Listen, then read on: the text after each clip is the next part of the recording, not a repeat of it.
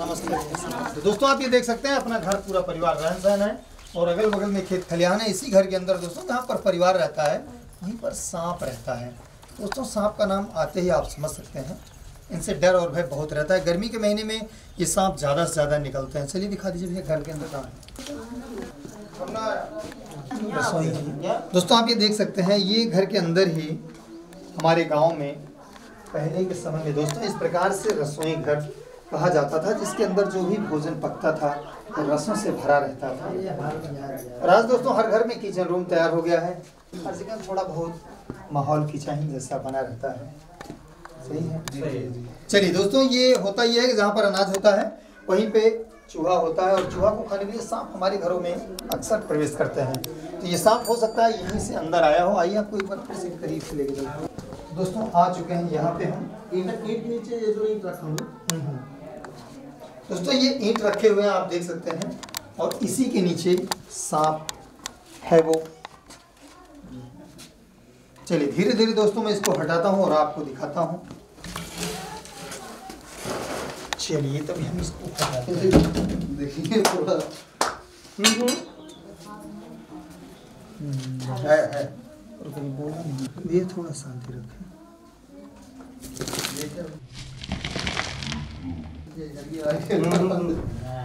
यही है यही बैठा है। नहीं खोदना।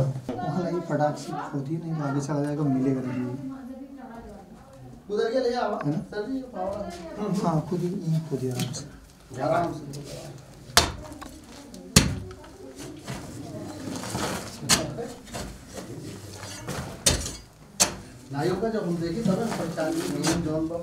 इस तरफ़ खोदिए यहाँ से आके थोड़ा खोदिए सतीश सर इस तरफ़ आप आए। बहुत मार के नहीं हाँ वही खोदिए।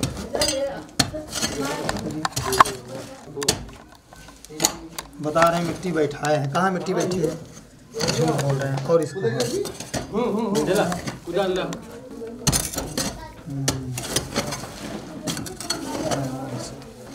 कुदाल दीजिए। छोड़िए। आराम से। ना उसके पीछे ही हमारी छड़ी हिलना नहीं चाहिए हाँ। क्या है बा। हाँ। क्या है बा साहब। हाँ। हाँ आप- आप खुद ही आप खुद इधर मुँह इधर आप जो कर रहे हैं दोस्तों आप ये देख सकते हैं। हाँ हाँ। ये जो है। हाँ। हाँ। हेलो। हाँ। दोस्तों ये छोटी से छोटी जगहों में अक्सर आकर के छिपता रहता है और इसका नाम इंग्लिश में दोस्तों इंडियन स्पेक्टिकल्ड कोबरा और इसी को हमारे गाँव में फिटार या तो गेहून के नाम से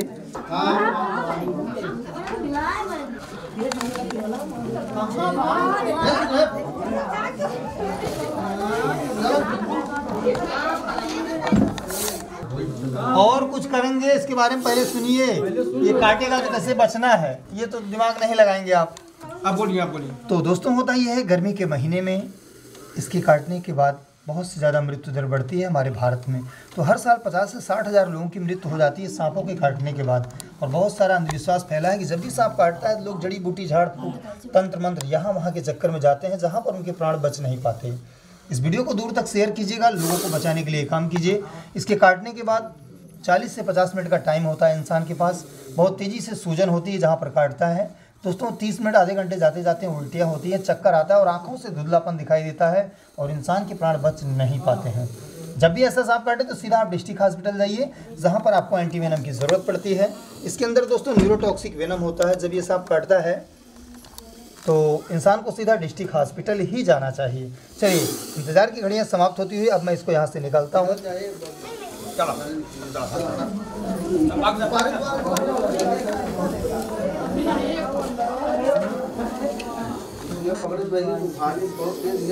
मतलब दूरों रात जब तो छूट गया।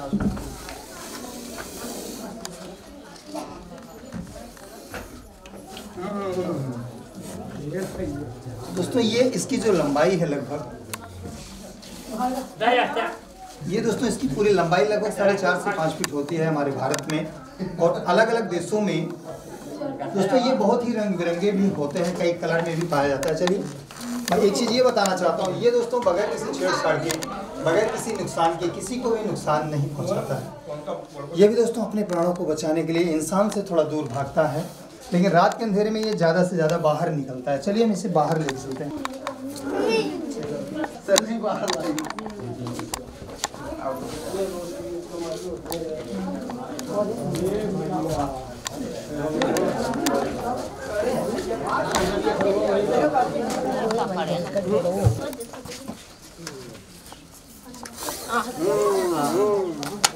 चलिए अब दोस्तों इसको हम पैक करते हैं यहाँ से काफ़ी दूर लेके चलते पकड़ रहे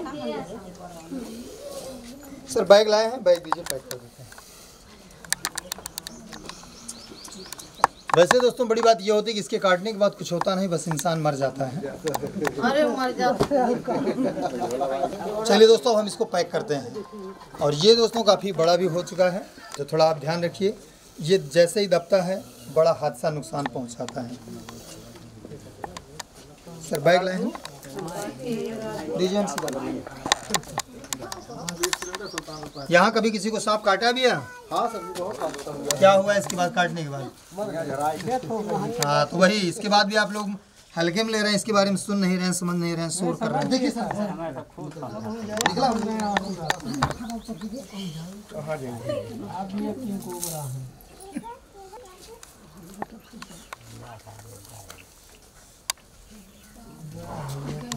तो दोस्तों, इसी प्रकार से ये छोटे से छोटे बिल होल को जैसे ही समझता है अंधेरा, उसमें जाकर के बड़े आराम से बैठ जाता है।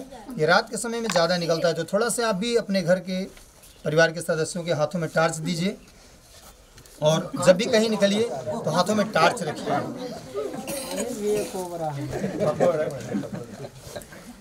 चलिए, इसको हम पैक कर दिए।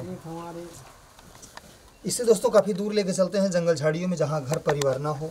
वहीं पर इसको हम रिलीज़ कर देते हैं। इन बेजवानों को बचाने के लिए हालाँकि कोई चार्ज कोई फ़ीस नहीं है।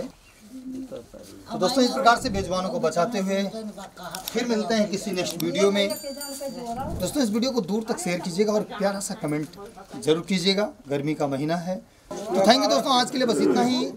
और फिर मिलते हैं किसी नेक्स्ट वीडियो में। और तब तक के लिए आप सभी को जय हिंद।